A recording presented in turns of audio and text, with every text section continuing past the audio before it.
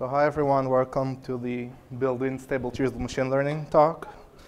Um, this part, I suspect I can quickly gloss about, um, since everyone here should be familiar with this, what are stable trees, bug fixes, device enablement, no new features, pretty straightforward. Uh, how do stuff get in stable? There are two main ways to get your patch into stable. One is to add a CC stable tag, which is how most people do it. This way, Greg will later look at the patches, uh, use the scripts, look at the patch, and uh, pick it up. Another way is to send a mail to the stable mailing list asking for the inclusion of a patch. This is really only useful if the stable tag was originally missed, and it's more for like a, it's more of the exception case. In both cases, it will get to Greg, who will evaluate the patches and merge it into the uh, relevant stable trees if it is stable material. This leads us to this slide, which is uh, what exactly is a fix in the kernel world. You would say that a fix is a patch that fixes a bug in the kernel, but in reality, a fix is a patch that was either tagged for stable or later someone asked it to be included into stable. So really, fix is a subset of all fixes that go upstream. We don't want that. We want to take every single fix into the stable trees. We don't want to rely on authors of patches doing the right thing. We don't want to rely on committers doing the right thing because we see that it often doesn't work. We see a lot of mixed fixes that end up going uh, upstream but not in stable trees. This is a really big thing with all the recent security issues we've been seeing. A lot of um, fixes that go in the kernel have some security implication. So missing patches that should have been there may cause security issues in the future, and we wanted to avoid that. Stable tags are also uh, not the best way. I don't know of a better way, but they're not really a good way to get patches uh, into stable trees. They have a few problems. The first is that some authors don't know whether they should add a tag or not to begin with. Uh, adding a tag might depend on the subsystem you send patches to. So for example, if you send patches to David Miller, he might ask you not to tag stuff for stable because he will do it himself. This leads to cases where people try and play it safe and not tag any patches for stable at all because they don't want to get yelled at. Uh, this causes a lot of people just send fixes without stable tags. Another problem is that when an author writes a patch that should be a stable material, it might not be stable material at that time. So for example, if you introduce the bug in the merge window and you're trying to fix it around RC7, it's not stable material, right? It fixes something in that current release. But what happens if the maintainer of the subsystem was on vacation, taking a break, and only saw your patch in the next merge window? At that point, it already became stable material. But the patch itself isn't annotated that way, and it might make its way upstream without stable tags. Um, it's also different people see fix differently. So some people who might see an issue and think, oh, I just saw it once, it's not really a big deal, maybe I shouldn't tag it for stable.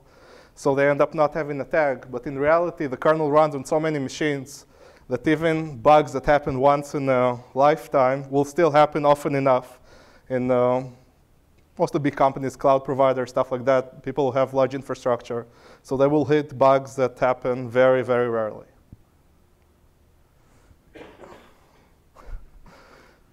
So we might say, yeah, let's just start reviewing all the patches manually. Stable tags suck, but we have this Greg guy who can review all the patches. That's what he's getting paid for. Start looking at the whole kernel. This is very, very difficult. I had to do some of this when I started working on machine learning stuff. So I reviewed a whole bunch of patches manually to figure out if they should go into stable trees or not.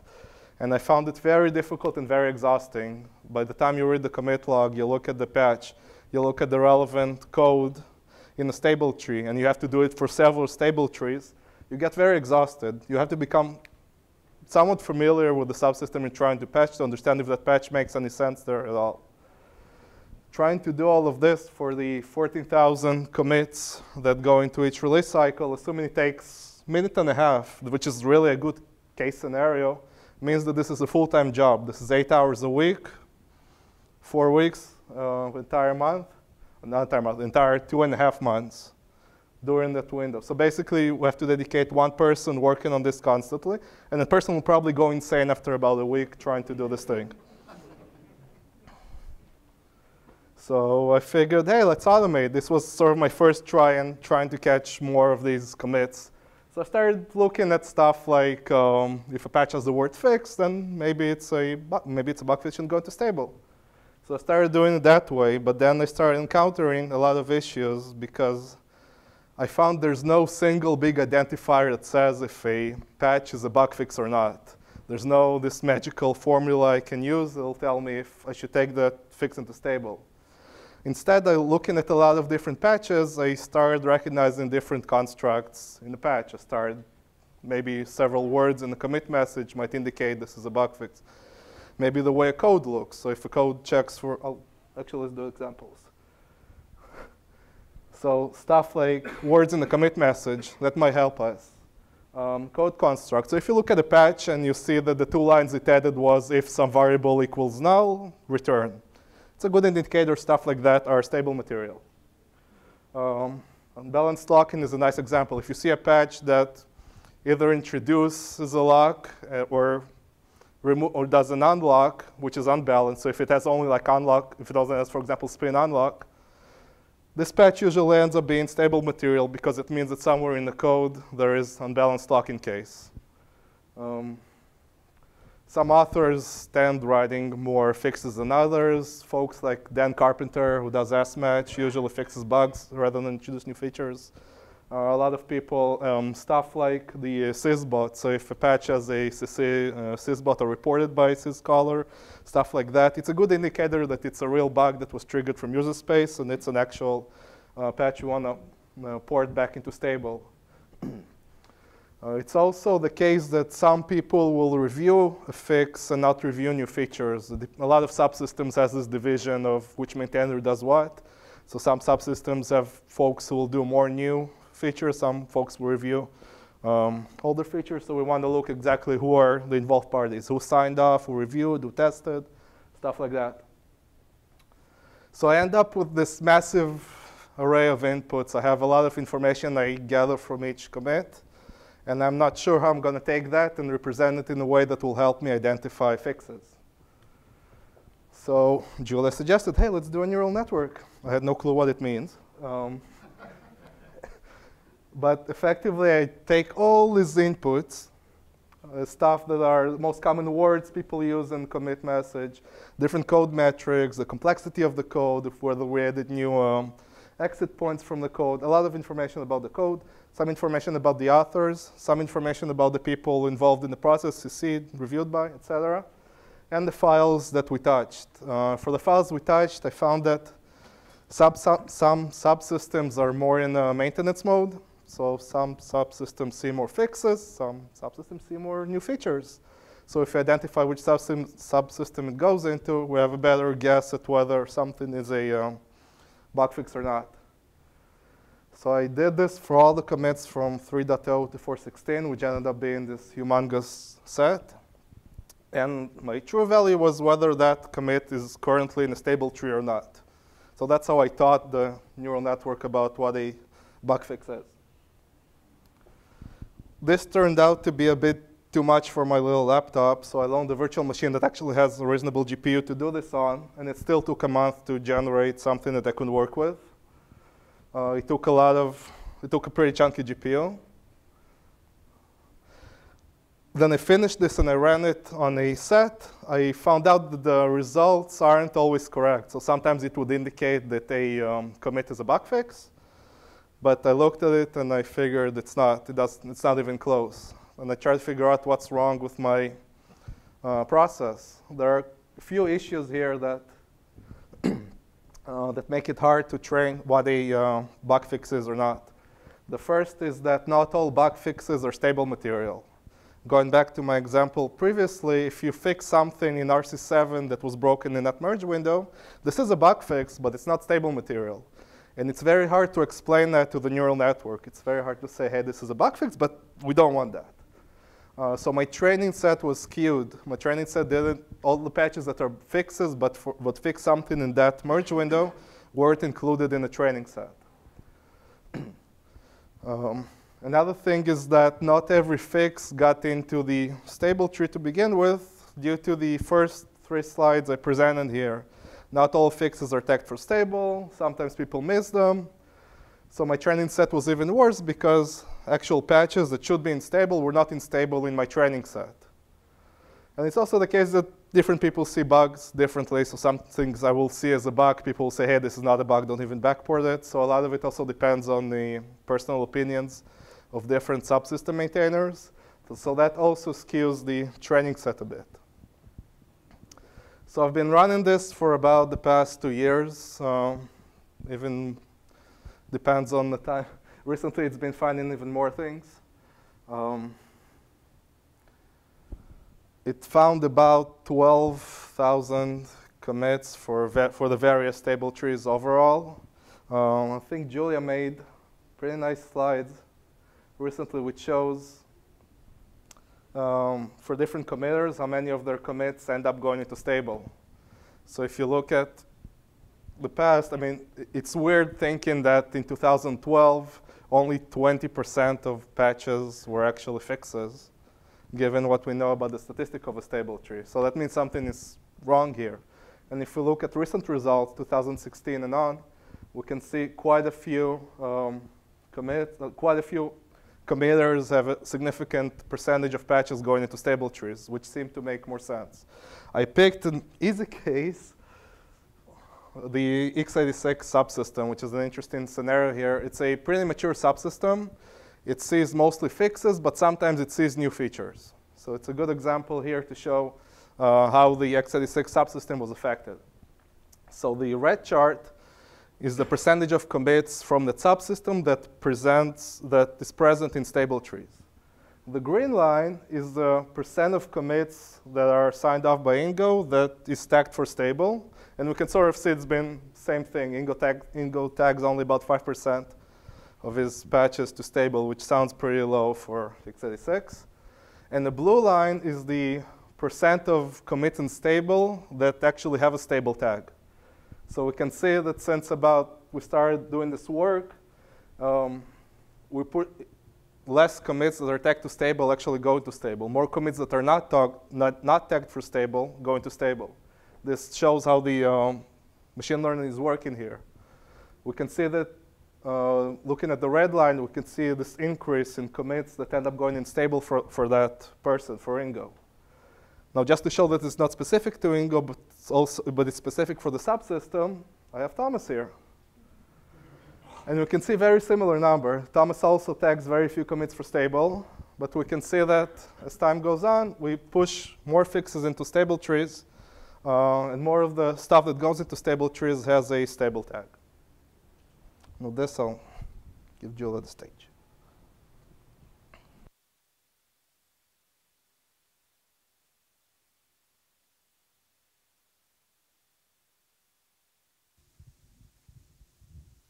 Uh, just to conclude on these numbers, if anyone has questions about these numbers, I've done them actually for all committers and all subsystems, and so if you want to know what your statistics are, then we can discuss that afterwards. Oh.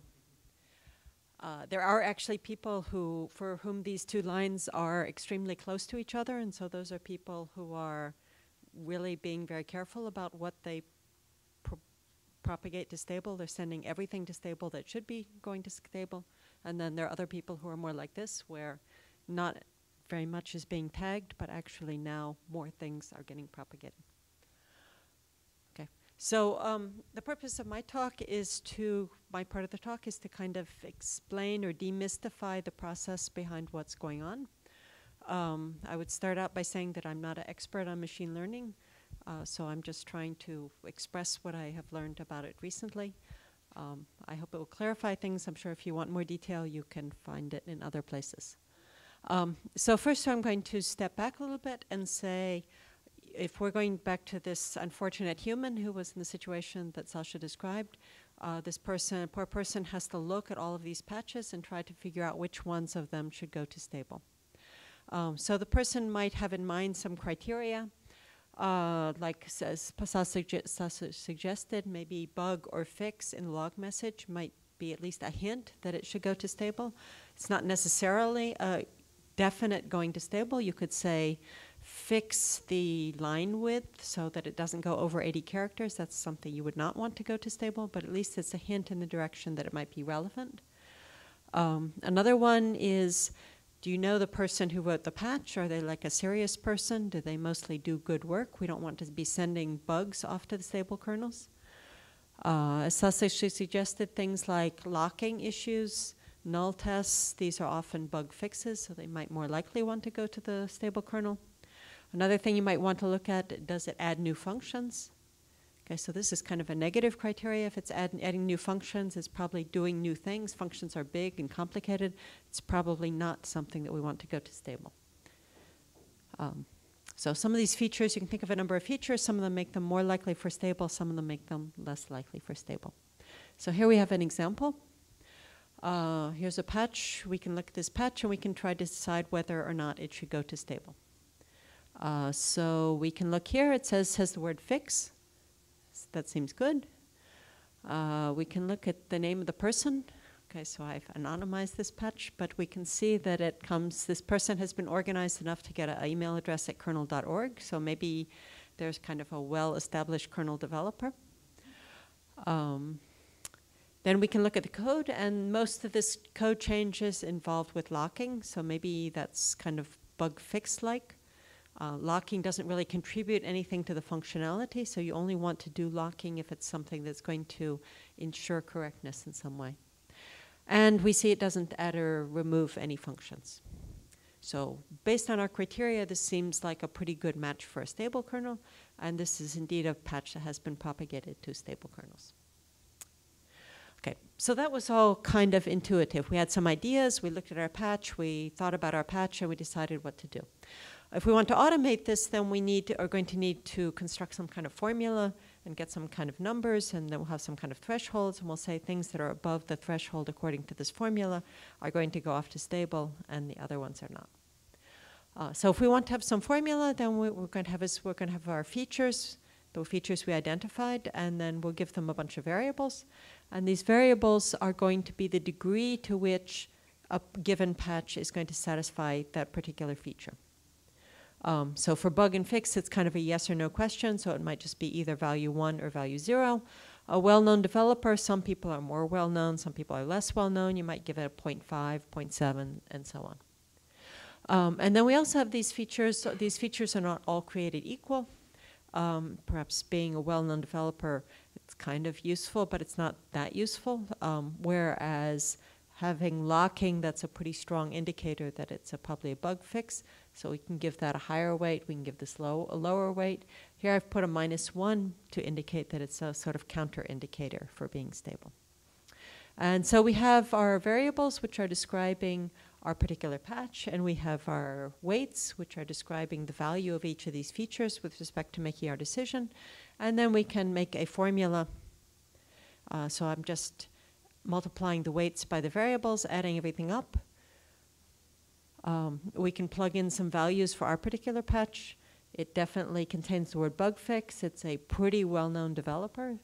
Um, it's, uh, it ha does have locking. It does not have any new functions.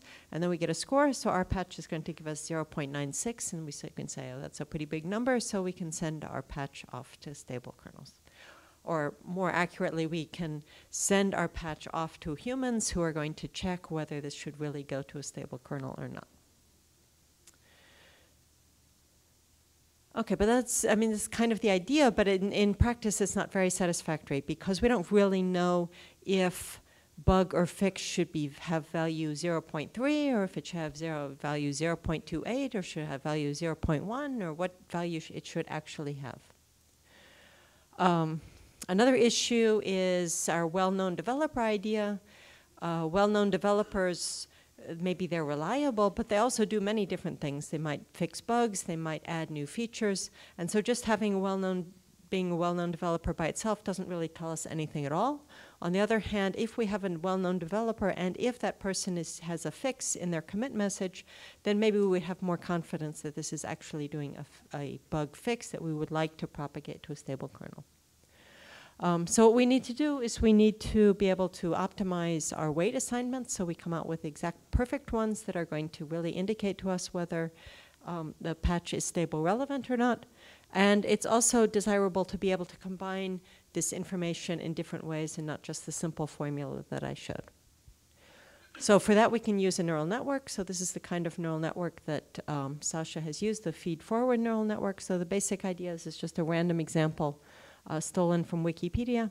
Um, the basic idea of a neural network is it's just a way of representing a formula. The formula has some inputs. We see the inputs at the top.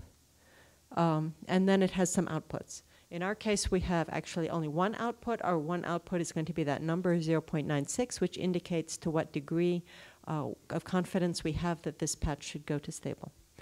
And what we have in between are a bunch of connections, and basically information comes into the connection, the information gets weighted, and some result gets sent out, and so it just gets propagated through the neural network, just like I, my inputs were getting propagated through the formula that I wrote previously. Um, so that in itself is not very interesting.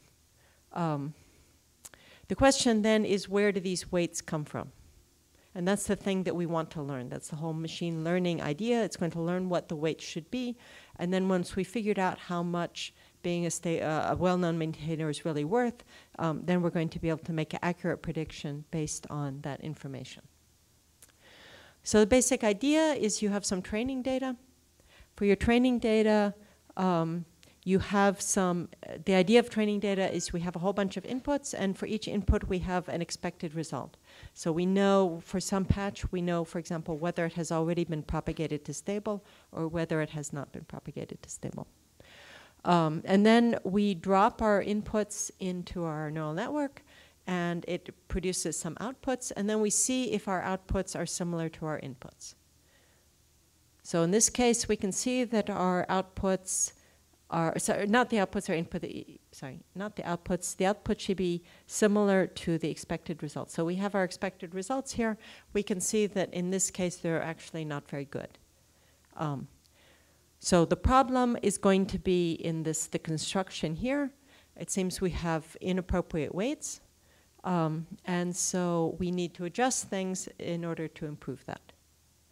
Um, so it's not good. So the idea is now we are thinking of our weights as variables. Okay, so it's a small shift of point of view because if you look back before I had the variables being the matching of the patches and the features and I had the weights as being constants. Now we think of the weights as variables. Those are the things we might change. We see what we go, what results we get for a particular set of weights. Um, and that, that is a function. It's a function from the space of weights, all the different weights, in a, into an error value. So here we have a very high error. Um, if we move around a little bit in this function space, then we might move to a lower error or we might move to a higher error. Obviously, moving to a lower error seems like a better thing. Uh, so it's kind of a hill climbing sort of problem, which is the local optimization, where at some place we decide would we like to go down the hill or would we like to go up the hill. Um, and so if we decide we like to go down the hill, then Going a little bit down the hill will move us to some other inputs, and then we can try again with our training set. And we just iterate this over and over again until you get to an error value which is, in general, more acceptable. Um, so we can try this again on some other set of weights here, chosen in kind of reasonable way, because we want our machine learning process to converge in a reasonable amount of time. Um, and this time, maybe we have some results which are kind of closer to the things we expected. And so eventually we'll decide everything's good enough. We're going to use this model in order to um, actual run day to day on the patches that come in and decide whether they should go to stable kernels or not. Okay, so that's, that's the basic idea that's being used so far. Uh, so the question is, how can we improve on this? So this is some work that I've been doing with a student in um, Singapore Management University. Um, basically, the work that has gone on so far is to try to learn the weights, but maybe there's some other things that we should be learning. In particular, um, basically we had features, and we should give some weights to those features. Um, but then we can ask, are those really the right features? So is being a well-known developer really something we should be focusing on, or should, is it something we should just not pay any attention to at all? Are there some other things that we should be focusing on instead? Um, and then another issue entirely is reasoning about code. Um, a lot of uh, applications of machine learning are things like images or text. Uh, code is somehow something different. Um, so we had, uh, Sasha suggested some features like modifies locking. Um, I suggested adding new functions or not. These are very coarse-grained, sort of conceptual things, but maybe there's some other more fine-grained features about the, uh, the code that we should be taking into account. Uh, the problem is the more features that you add, the higher the cost of your learning process. Remember, we keep iterating and trying to get to the best values, um, and so we have to somehow focus on the best features. Um, so what I'm going to talk about is um, an approach that allows you to somehow learn what the features are that you should focus on. Uh, so the idea is to use what's called a convolutional neural network. So this is something that has been used a lot in image processing. Um, now it's also used in natural language processing. And so the idea here is instead of taking high level features that have been identified based on intuition, to somehow lower the level of features that can be taken into account, but then isolate the ones that are somehow the most important, the one, the ones that actually make a contribution to the result. So I'll give an example first in the image processing area. So here's our image. It's just a bunch of pixels of zeros and ones. And so the idea is we make some little filters, and the filters, what the filters are going to do is find small patterns of image within our big image space. So the idea is we're trying to identify an ostrich, for example, and someone has figured out that having a, a figure like uh, a little space like this somewhere in the figure is a high indicator of being an ostrich. Maybe if you have this, and you have this, and you have this, and I don't know what they have for the head like this, maybe that's, if you have all of those things, then it's probably an ostrich. You don't have to actually look at all the pixels and all the feathers and everything like that. Just those things put together indicate ostrichness. Um, so basically, we have this filter. This filter represents part, the part of the ostrich that we're inter interested in.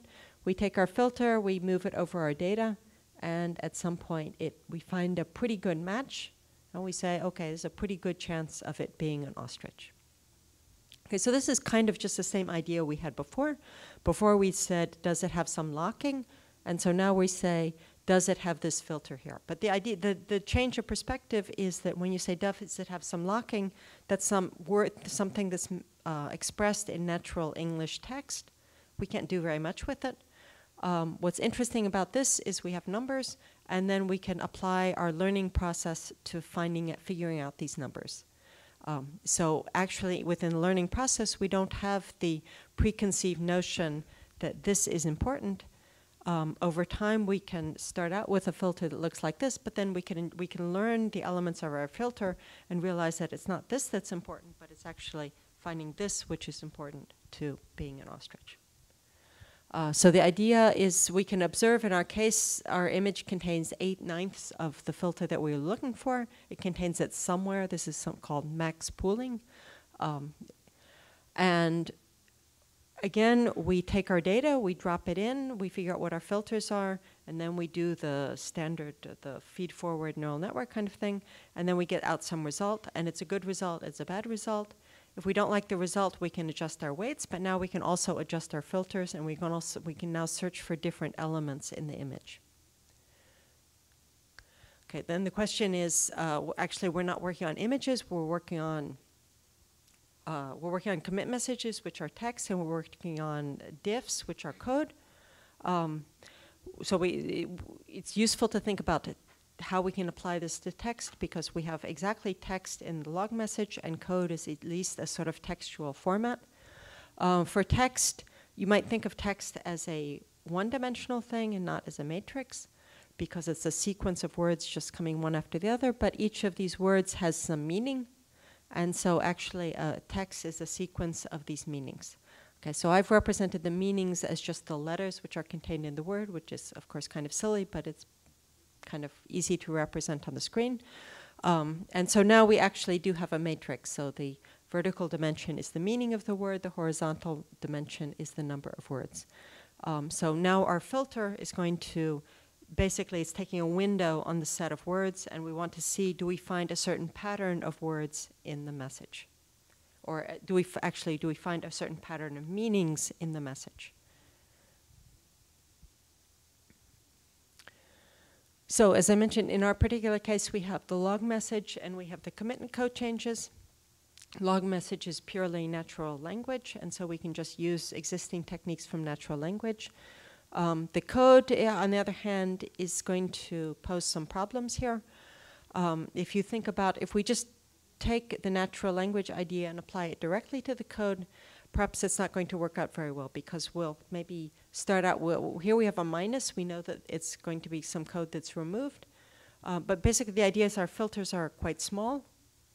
Um, and as we move the filter across the code here, we're going to forget the minusness.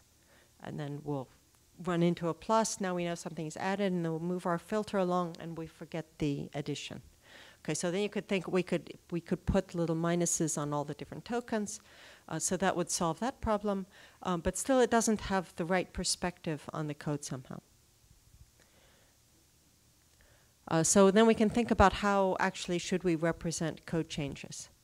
Um, what's the important information? What, what things do we want to somehow put together with each other? Um, so you can think of the very minimal representation. Our change could be just replacing an equal sign by a less than. Okay, so that's actually quite an important piece of information. Most of the time when you want to replace the equals, if that's the only thing you're doing, that probably actually is a bug fix. So maybe in this case that would be a good choice. Um, but we can have equals equals less than or equal to, that's the entire token, that gives a little more information. The exact operator that's changing we can do what I would call, I call an atomic statement. Um, now we have a little bit more context, uh, if header, a for header, an assignment statement, and so on. Um, it's sort of a nice compromise between just equals to less than, which has somehow no context. It could be used for many different things.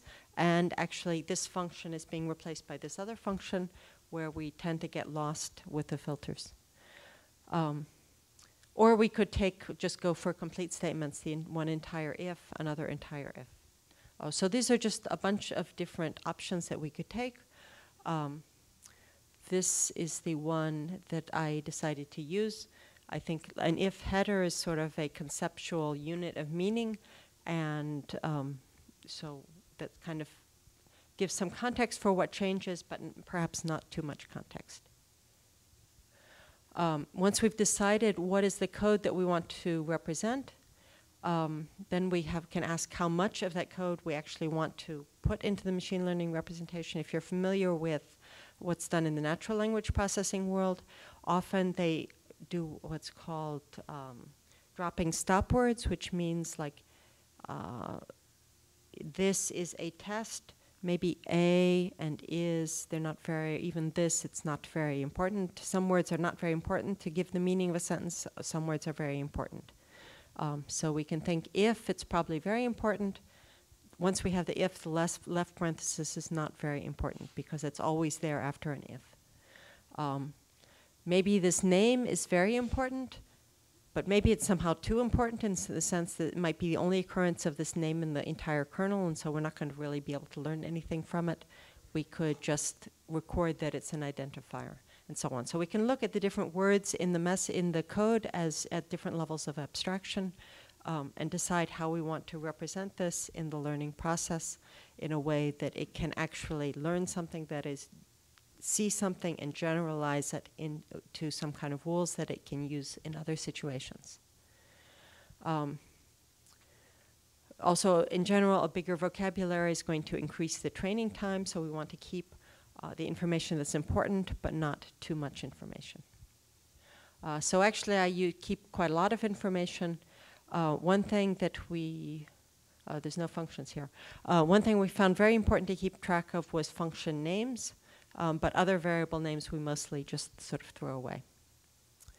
Um, and then once we figure out how to represent our data, then we need to figure out how to somehow put it all together to represent the structure of the code. There's many aspects of the structure of the code. There's the removed lines, the added lines, um, then they're collected together into hunks, and then for a different a given patch, there might be it might be touching different files, um, and so we use a bunch of different neural networks to keep track of these different levels. So our results. Um, so we took our approach and we compared it to Sasha's approach. So basically, we have taken Sasha's approach and sort of extended it with a refinement in order to learn uh, new uh, features, learn the set of features, and not just the set of weights. Um, so the question is, do we get a better result from doing more work? Um, we have a data set that we collected. It is 80,000 commits from uh, about over about six years.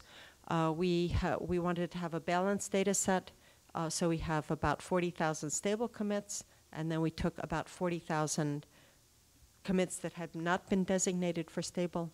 These commits are of similar size to the stable ones, so the machine learning is not just going to learn that really big commits should never go to stable and really small commits should always go to stable. Um, we evaluate them in two ways. We have precision and recall. Precision is the um, percentage of patches that the tool classifies as stable that are actually stable. Um, when we say you should do something, are we telling you to do the right thing? Uh, recall is the um, patches that should be, that are actually being identified, should be stable, that are actually being identified as stable. Uh, so, and we compared this to, we compared three approaches. One of them is just finding bug and fix. You can see these bars are quite low, so that didn't work out terribly well.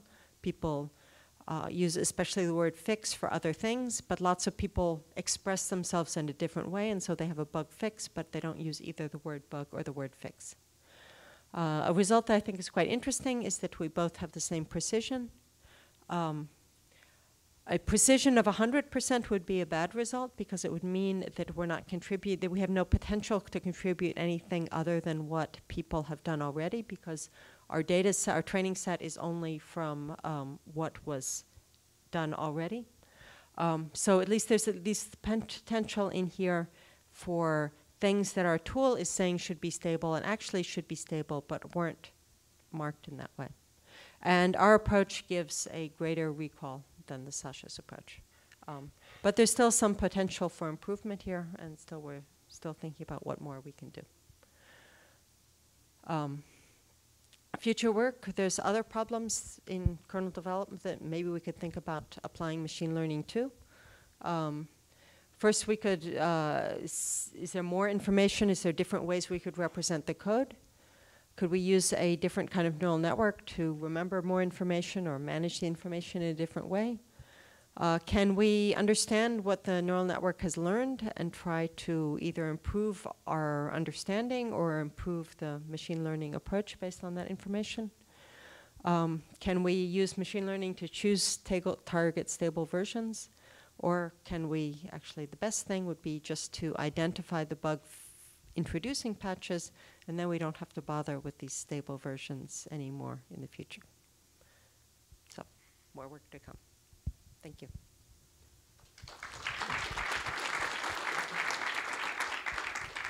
So, questions? Uh, I think you were first.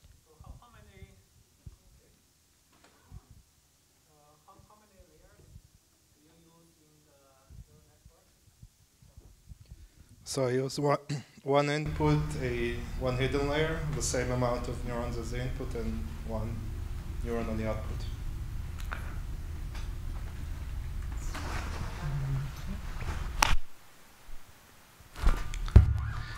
Uh, yeah, uh, gosh. The question is, uh, one of the things that occurred to me where you are presenting is that usually most of the bug fixes are patches that applies against the pre previous version. Did you try to use that as a feedback to the neural network or consider it somehow? I haven't looked into that, but I can think of a lot of examples where it's not. I mean, yeah, it, I mean it's uh, not a rule, but it is a strong indication. I mean, if I have one bug on this version and uh, someone writes a fix, it will likely be applicable at least at the version plus, uh, minus one. Fair enough. Worth looking into. Huh?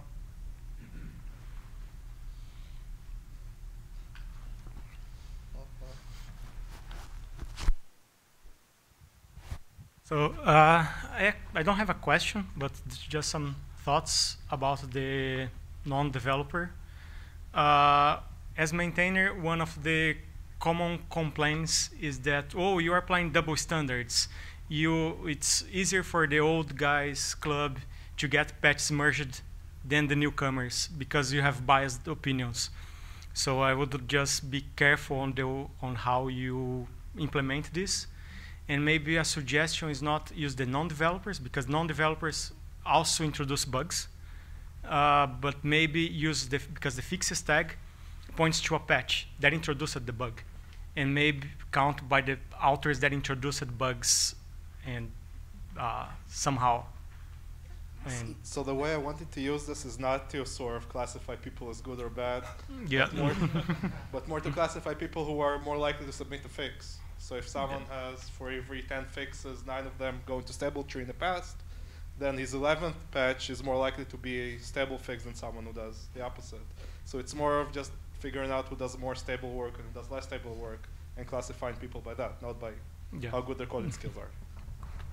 Yeah, so I mean, well-known developer was one of my criteria, but I didn't mean to suggest that that was being used in that way. I know, you um, know. I, I just wanted to give some kind of Yeah. features that one could think about.